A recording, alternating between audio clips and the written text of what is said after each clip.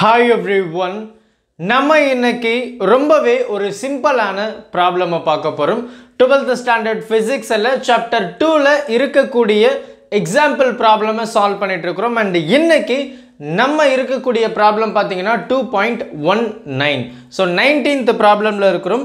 So கேள்வி வந்து ரொம்ப சிம்பிளான கேள்வி தான் என்ன கொடுத்துருக்குறாங்க அப்படின்னா ஃபார் அ கிவன் சர்க்கியூட் அப்படின்னு சொல்லிட்டு நமக்கு வந்து ஒரு சர்க்கியூட் டயக்ராம் கொடுத்துருக்குறாங்க. ஸோ அதில் பார்த்தீங்கன்னா நமக்கு நாலு செல்லு இல்லையா? ஸோ நாலு செல் எப்படி கனெக்ட் பண்ணியிருக்கிறாங்க அப்படின்னா பேரலாக கனெக்ட் பண்ணியிருக்காங்க. ஸோ இந்த மாதிரி நமக்கு பேரலாக கனெக்ட் பண்ணியிருக்காங்க. அண்ட் இதில் இருக்கக்கூடிய வோல்ட் பார்த்தீங்கன்னா அதாவது இஎம்எஃப் பார்த்தீங்கன்னா ஃபைவ் வோல்ட் கொடுத்துருக்காங்க.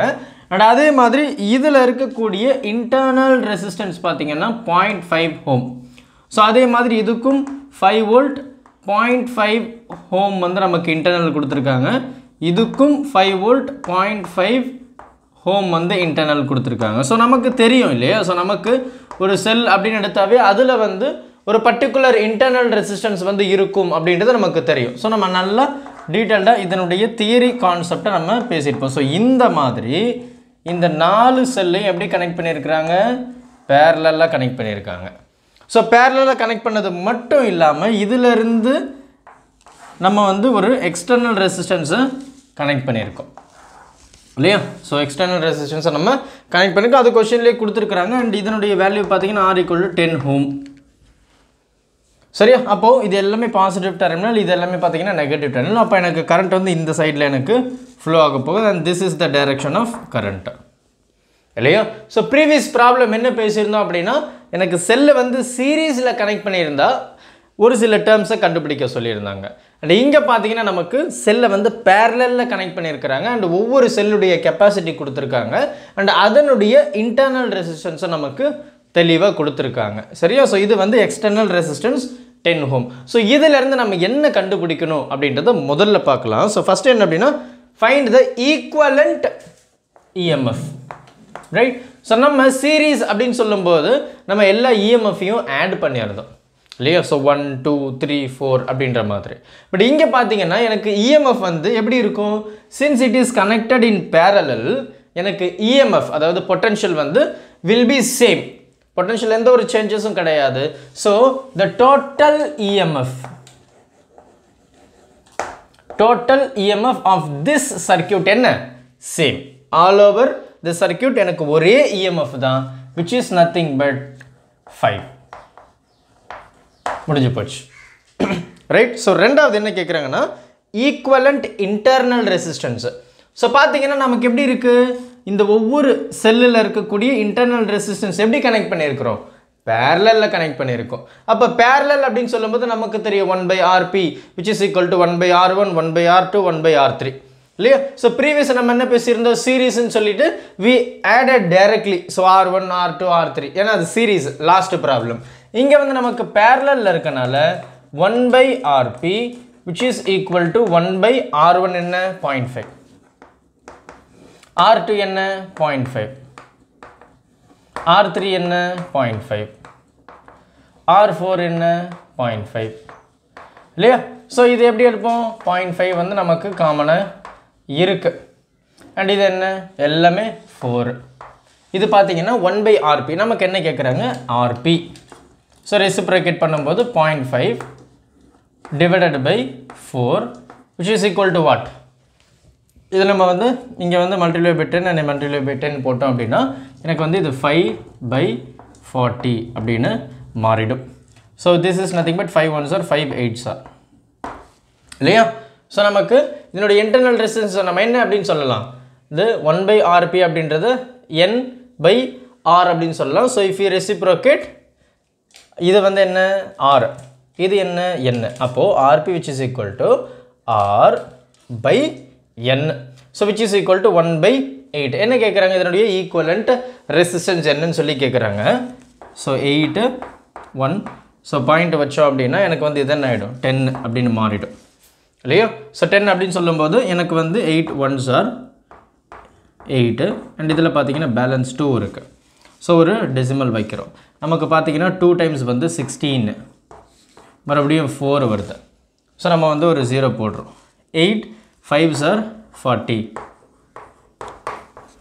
so we have point one two five அப்போ இதனுடைய ரெசிஸ்டன்ஸ் பார்த்தீங்கன்னா zero point one two five ohm அப்போது எனக்கு இதில் இருக்கக்கூடிய ஈக்குவலண்ட் ரெசிஸ்டன்ஸ் என்ன? Point one two five ohm முடிஞ்சு போச்சு.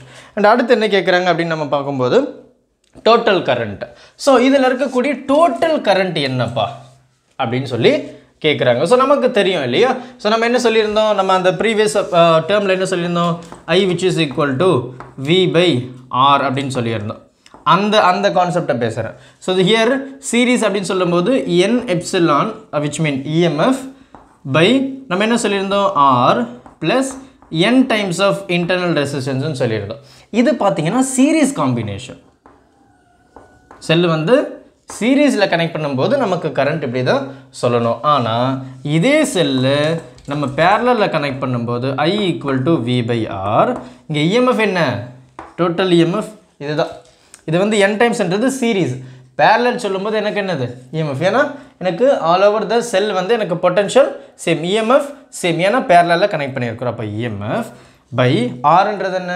நமக்கு தெரியும். அந்த எக்ஸ்டர்னல் ரெசிஸ்டன்ஸ் அப்போ இது என்ன? டோட்டல் ரெசிஸ்டன்ஸ் இதனுடைய டோட்டல் ரெசிஸ்டன்ஸ் நம்ம என்ன சொன்னோம்? RP which is equal to R by N அப்போது ஆர் பை என் அப்போ இதனுடைய வேல்யூ நமக்கு தெரியும். இப்போ தான் கண்டுபிடிச்ச பாயிண்ட் ஒன் டூ ஃபைவ் இதனுடைய வேல்யூ கொஷனில் கொடுத்துருக்கு. இதனுடைய வேல்யூ நமக்கு தெரியும். அப்போது ஃபைவ் டிவைடட் பை இது என்ன? டென்னு plus point one two five சரியா? அப்போ இதை நம்ம எப்படி எழுதலாம்? Five divided by ten point one two five இல்லையா? So ten point one two five நம்ம எழுதிட்டோம்.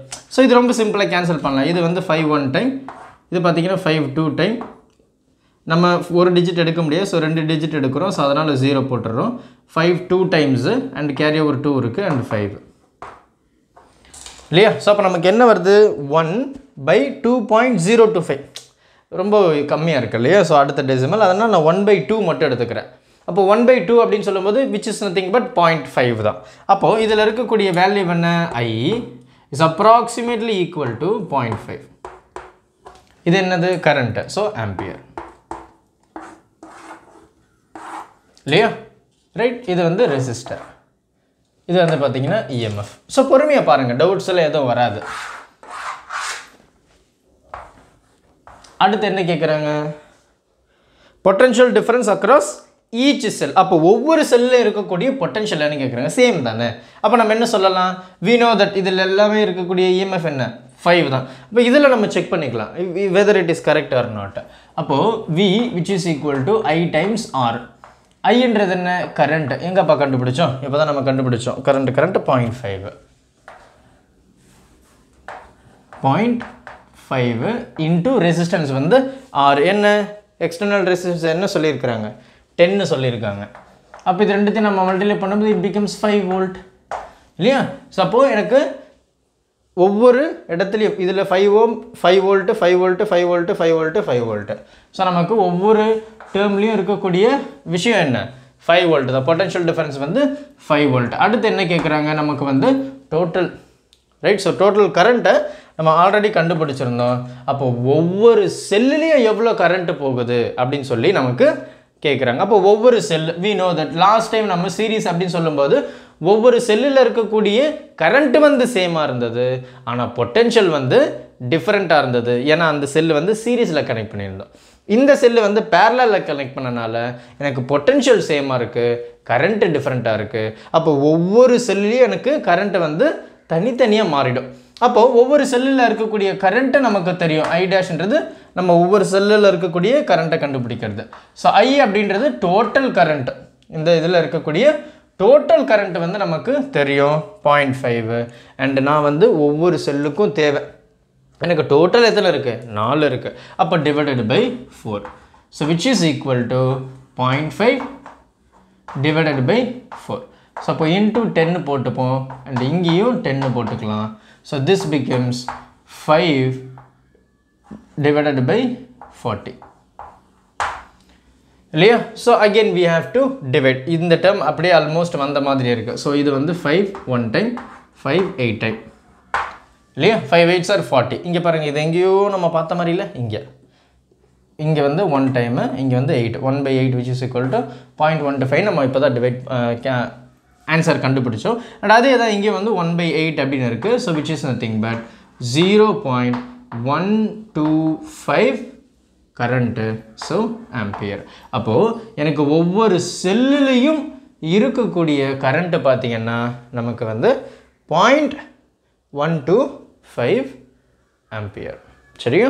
இதில் அதே கரண்ட்டு இதில் அதே கரண்ட்டு இதில் அதே கரண்ட்டு இதில் அதே கரண்ட்டு. சரியா? ஸோ ஒவ்வொரு செல்லுலையும் இருக்கக்கூடிய கரண்ட் வந்து நமக்கு இதுதான். ஸோ பொறுமையாக பாருங்கள் டவுட்ஸ் எதனா இருந்தது அப்படின்னா மறக்காமல் கமெண்ட் பண்ணிவிடுங்க அண்ட் இதே மாதிரி இந்த செல்லை வந்து சீரீஸ் அண்ட் பேரலில் கனெக்ட் பண்ணால் எப்படி இருக்கும்னு சொல்லிட்டு நம்ம தியரி வைஸ் நம்ம நிறைய பார்த்துருந்தாலுமே ப்ராப்ளமை சால்வ் பண்ணும்போது தான் அதனுடைய அண்டர்ஸ்டாண்டிங் வந்து நமக்கு இன்னும் டீப்பராக இருக்குது அப்படின்றது இந்த ப்ராப்ளம்லேயும் டூ பாயிண்ட் ஒன் எயிட் ப்ராப்ளம்லேயும் நமக்கு கிளியராக தெரிஞ்சிருக்கும்னு நினைக்கிறேன்.